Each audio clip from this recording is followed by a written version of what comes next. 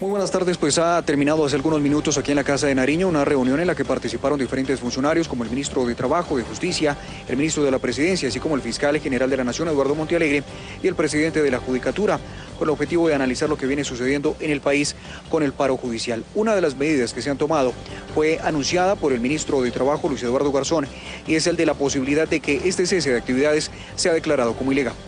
Se ha mostrado y, hemos sido testigos de la disposición del Estado y del gobierno en general de estar estableciendo diálogos por todos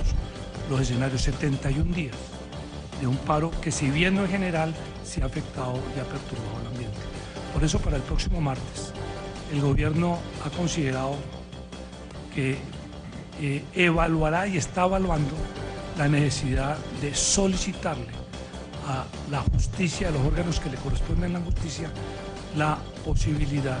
de que este paro sea declarado ilegal.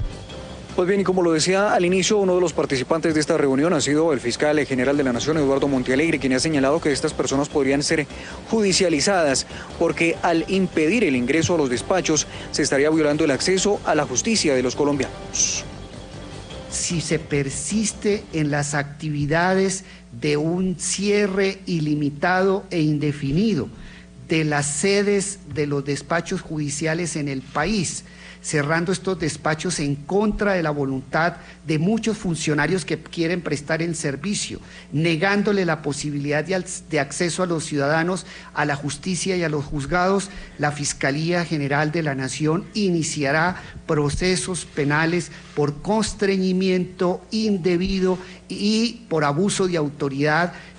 pues bien, al finalizar este encuentro, también el ministro de la Presidencia, Néstor Humberto Martínez, ha sido enfático en que todas las instituciones del Estado utilizarán las herramientas que sean necesarias para garantizar el acceso a la justicia de todos los colombianos. Para garantizarle la prestación del servicio de justicia a partir del próximo martes en situación de normalidad y para ello apelaremos, óigase bien, apelaremos a todos los instrumentos que nos otorga el Estado de Derecho. Ha señalado asimismo el fiscal general de la Nación, Eduardo Montealegre, que la próxima semana serán llamados a interrogatorio algunos miembros de la Judicatura que continuaron pagando los sueldos a los funcionarios que están en el paro judicial. Información desde la Casa de Nariño, Eduardo Hernández, Cable Noticias.